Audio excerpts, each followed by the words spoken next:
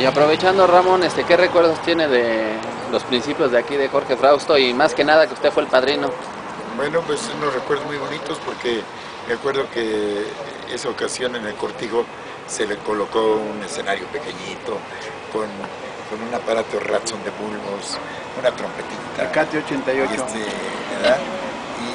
y su tornavesa agarrada y adornado, me acuerdo todavía, con unos papeles muy Garigoleados. garigoleados. Y para mí pues, era un gusto de darle la patadita a mi ahijado y decirle desde este momento es eh, sonido candela de Jorge Frausto. Y pues de ahí como eh, Jorge pues, se hizo de fama.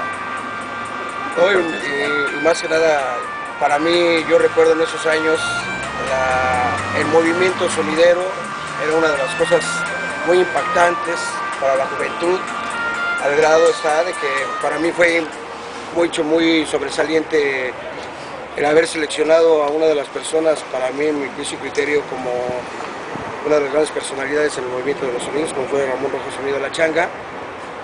Lo repito, fue un primero de diciembre de 1986.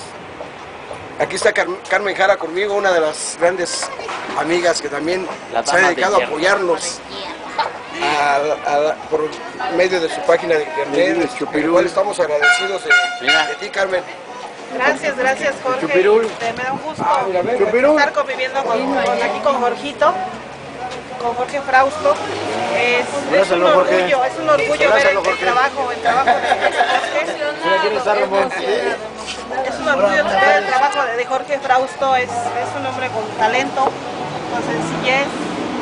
Y pues Jorgito, ¿cómo te has sentido en toda tu trayectoria? No, pues muy bien, personalmente me he sentido muy bien, Carmelita, gracias por tu apoyo que nos has brindado a todos los sonidos, tanto en México como eh, a nivel de Estados Unidos, porque muchos, Internacional. muchos han participado en tu página.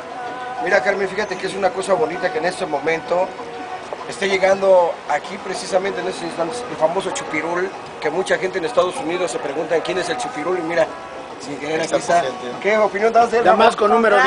Pues para nosotros ha sido nuestra, no mascota, sino un personaje Estandarte. y un estandarte de la buena suerte para Así todos es. los sonideros, porque con, con este señor empezó también con Cristalito Porfis, Las tardeadas. las. Ramón Rojo, el Rolas, en Damasco El número Rolas, 10. Es el Rolas y la changa, ¿te acuerdas? Sí. Ahí anda Damasco 10, pues eran- éramos unos jovencitos. Rolas. Ahora este, Rolas. ya, ahí estamos, ¿verdad? Ahora ya este, pues Changi, Rolas. Ahora este evento que va a haber ahorita al ratito, pues acabamos de ir por acá con el Chupirul, lo sacamos de ahí de, de- ¿cómo se llama esto, hombre? El asilo de la changa. Y ahí ya fuimos por, por- por el Rolas, el África y todo, toda esa gente. Pues vamos a recordar aquellos tiempos al ratito.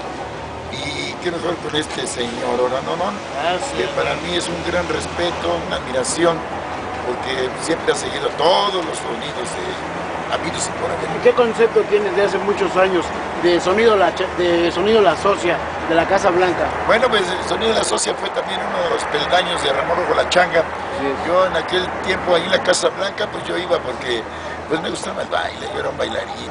Una de sus hermanas que era, este, es Leche. Teresa, Leche, pues era mi pareja y nos acomodamos a bailar y pues este, con ese pues, eh, fin iba y le ayudaba a, a su hermana y con una trompeta, con un bafle, con- y nos íbamos a, a trabajar, a tocar en, en las vecindades, le prestaban la luz, ella cobraba un peso. Eras bailarín también. Yo era bailarín de la socia. Así es. Y ahí este, pues, empezó la motivación, pero nunca pensé que yo agarrara este negocio, como negocio el sonido y pues miren nomás hasta dónde llegamos. Qué bueno.